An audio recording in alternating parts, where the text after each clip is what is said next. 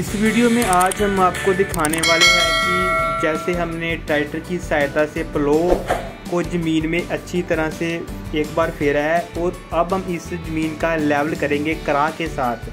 तो अच्छी तरह से देखिएगा, जो भी बच्चे फ़र्स्ट टाइम हमारे चैनल पर आए हैं, प्लीज़ हमारे चैनल को सब्सक्राइब कीजिएगा और बेल आइकन को प्रेस ज़रूर कीजिए, ताकि जो भी लेटेस्ट वीडियो हम अपने चैनल पर अपलोड करते हैं, आप पर उसका नोटिफिकेशन जल्दी से पहुँच जाए। चलो दोस्तों, हम स्टार्ट करते हैं।